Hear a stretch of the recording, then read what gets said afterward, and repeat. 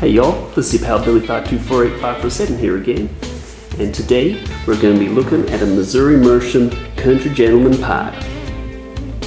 Now, the Country Gentleman pipe here is uh, one of their models that uh, uses uh, plaster Paris. Their patented method in the uh, the bowl there and stops burnouts happening so easily.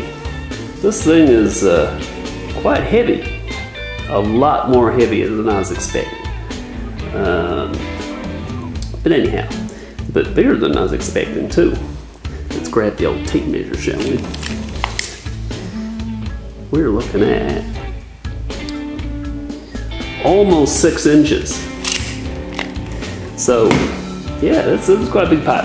I like a big pipe, so I, I have no problem with that. Uh, a lot of people uh, say bad things about the plastic uh, bit that comes with these, especially when it's a black one. Uh, I did my usual shine it up with Knorr wax trick, so it looks good.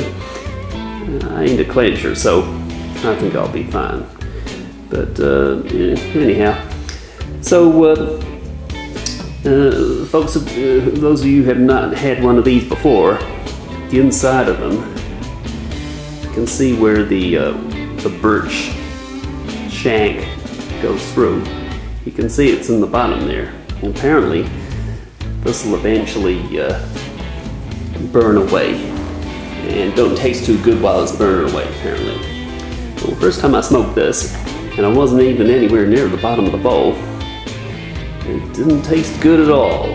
I was pretty shocked, actually. There was some kind of um, varnish of some sort, or maybe similar to the stuff on the outside that went maybe a third of the way down the bowl. So uh, I managed to fix it with, uh, with some of this, and uh, that managed to that managed to get rid of the bad taste.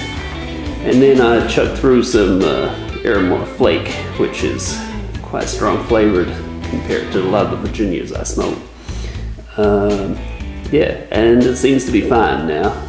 Uh, it doesn't taste as good as a briar, I wouldn't have thought, but I've only smoked it probably about four times, maybe five now, so not that many. Uh, it's got a six millimeter filter. You can shoot the smoke without it. Imagine you get a pretty loose draw though, but I like a tight draw everything works pretty well on this. I mean, this is a nice pipe. Uh, yeah, that's bigger and heavier than I was expecting. The bowl is bigger than I was expecting. A lot of folks on YouTube have been saying that, but uh, I see that as a as, as a, as a benefit. Your sticker on the bottom there. Apparently this has a, a wooden hardwood plug in the bottom. Uh, when I did have a look at investigating the bottom, uh, that, that looks like that's quite possible. Maybe that's adding to the weight as well. I don't know, it could be the plaster Paris. I like the black uh, staining. It is an attractive pipe for a cob. I mean, yeah, for the money, I think that's a great pipe. Uh, so, yeah, Country Gentleman. Highly recommended from Billy. Thanks for watching, and I'll see you in the next video.